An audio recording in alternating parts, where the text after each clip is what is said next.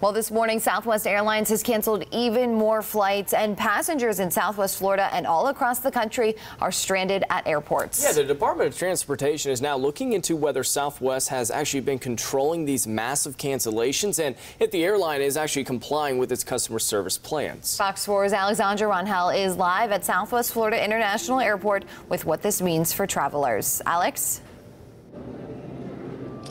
Good morning. Yes, RSW being impacted this morning with we have about 50 um, flights and over 40 of them uh, have been canceled and they are from Southwest Airlines. Now looking at this board, you can already see some of the cancellations that people are dealing with this morning. Just to name a few, we have Baltimore, Chicago, Nashville, all are canceled and almost all Southwest airline flights expected to arrive to RSW today have also been canceled. This morning nationwide, there's nearly 3,000 cancellations and according to FlightAware.com, Southwest is responsible for 62% of those. Some of the airports experiencing the worst issues are Denver, Las Vegas, Chicago, Baltimore, and Love Field in Dallas. Long lines both in person and long wait times on the phone have left travelers frustrated. Southwest Airlines actually acknowledged it's experiencing service disruptions as a result of the effects from the weekend winter storm.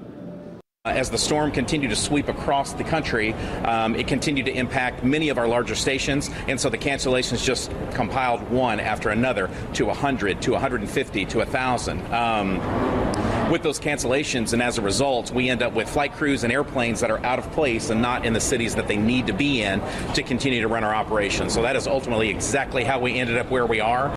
Now, Southwest says customers whose flights have been canceled can get a full refund or receive a flight credit which does not expire. We'll be here throughout the morning to see how travelers are dealing with these cancellations, so make sure to stay with us for that morning coverage. For now, live from RSW Airport, Alexandra Rangel, Fox 4.